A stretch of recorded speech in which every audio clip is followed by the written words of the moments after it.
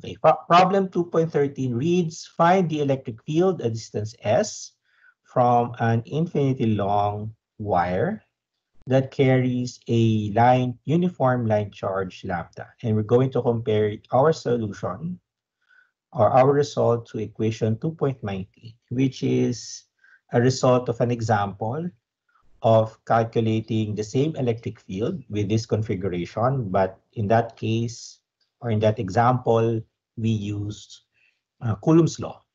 Okay, so uh, so let's start by drawing the line. So imagine this is your, sorry. So imagine this is your infinity long wire. Okay. Now, uh, so as, as discussed previously, uh, we're going to use the some symmetries that we can uh, that is uh, appropriate for this kind of system. So here we have a long straight wire. If we're going to use Gauss law, uh, the the shapes uh, that is symmetric to this to this problem would be a sphere would be a cylindrical surface. Okay, so in this case, this will be our cylindrical surface. Okay. Okay.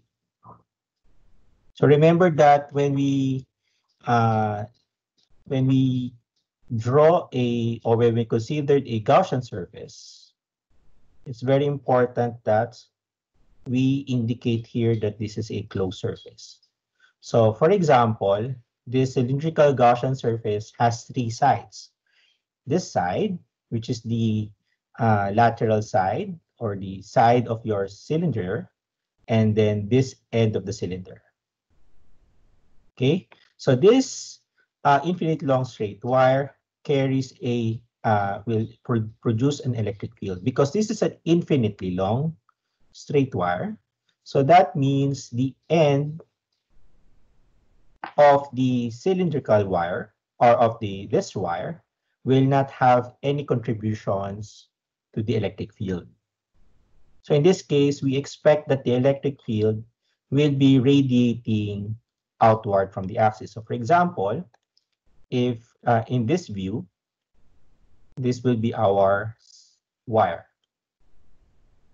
Okay, so our cylindrical, our Gaussian surface would look something like this. Okay, so because this wire is infinitely long, we expect that the, the electric field that is produced will be directed radially outward. Like this.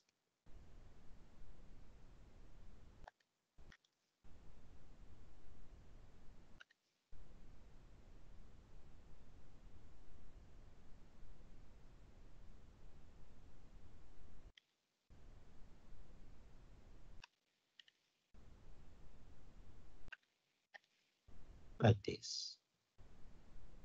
Okay, so this will be your electric field. So in our case here, the electric field would look like something like this. Some will be pointing this way. Some will be pointing this way.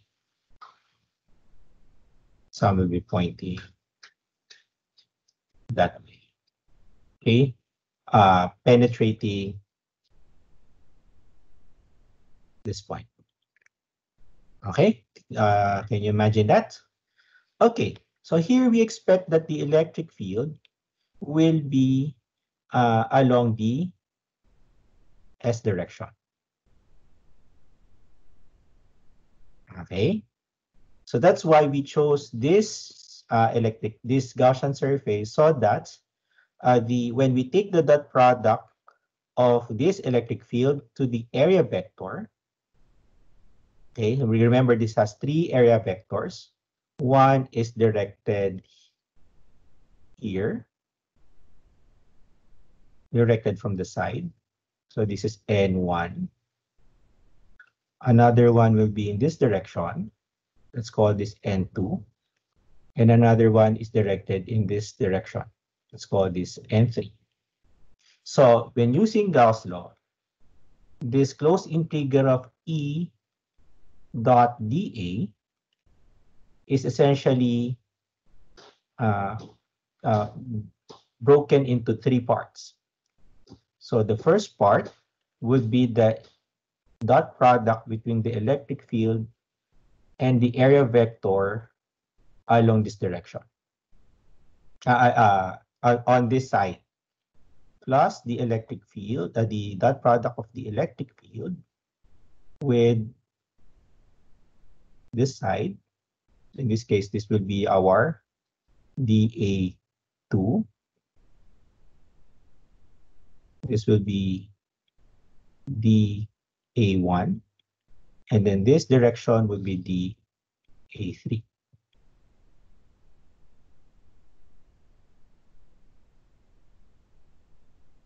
So this is your third side. This is your second side. Now, by choosing this Gaussian surface, we can see that's the direction of the electric field, which is along the S direction. Okay, the dot product of that with A2 and A3 is 0. So this becomes 0. As you will notice that this becomes, this closed integral becomes the integral of this. Okay.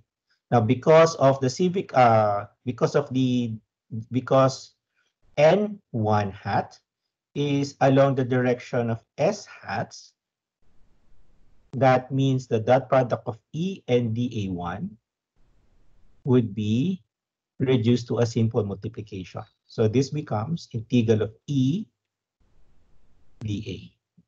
And because this is a uniform electric field, because you have a uniform line charge, okay, we can take out that electric field outside of this integral.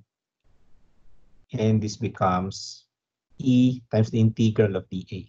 And when you integrate the area, let's call this area 1, along this side, this becomes the total area. And what is this total area? This is total area of the side of your cylinder, which is equal to the circumference of the circle times this length of the circle. If we're going to let this length to be L, okay, so this becomes 2, and then, uh, this one would be S. So this becomes 2 pi S times L. Okay. So this equation, this uh, this integral is now reduced to a simple multiplication of E times 2 pi S times L. And this is equal to the enclosed charge, the charge enclosed by this Gaussian surface, divided by epsilon naught. What, what is Q enclosed? Q enclosed is the enclosed charge from this point up to this point. Because this line has a uniform charge density lambda. Remember lambda if this is uniform, is just equal to the total charge divided by the total length. So in this case, lambda will now be equal to the Q enclosed times this length, which we already set to be L. So therefore, Q enclosed will now be equal to lambda L. Substituting this here, we now have lambda L divided by epsilon naught.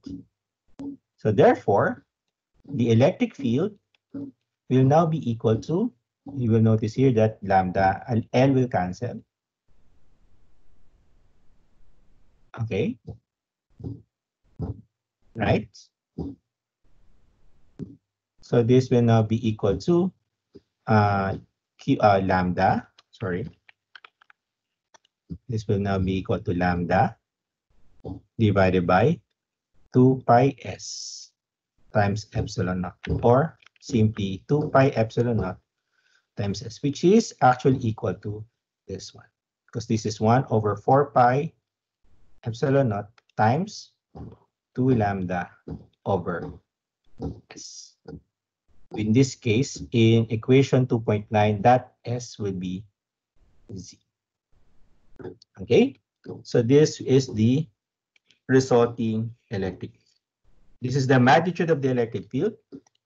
So that means the vector form of this electric field will be lambda over 2 pi epsilon naught s s hats.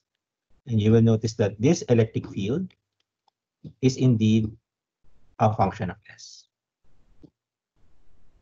Okay, so this is now the result of your of problem 2.13 of Griffiths' fourth edition, which is consistent to equation 2.9 as mentioned in your book.